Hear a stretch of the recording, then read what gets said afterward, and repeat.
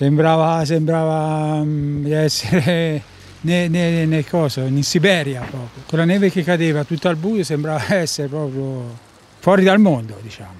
13 ore senza né corrente elettrica né telefono. Ci troviamo in Casentino, a Badia Prataglia, comune di Poppi, una delle frazioni che ha subito maggiori disagi dovuti al maltempo. Ieri sera alle 11.30 è andata via la luce e quindi siamo rimasti tutta la notte senza luce in attesa che da un'ora all'altra tornasse, poi invece stamattina siamo venuti giù con le pale, abbiamo spalato io e mio marito e quindi siamo tornati un po' indietro negli anni, quindi abbiamo messo sulla moca, il caffè con la moca, il latte caldo, il tè. A causare il blackout alcuni rami che appesantiti dalla nevicata di ieri sono stati divelti dalle forti folate di vento e sono poi caduti sui cavi dell'elettricità, lasciando così isolata l'intera frazione. Le linee telefoniche sono, ed elettriche sono principalmente aeree, aeree per cui i rami hanno, la caduta dei rami ha provocato anche l'interruzione che al momento credo che sia ripristinata.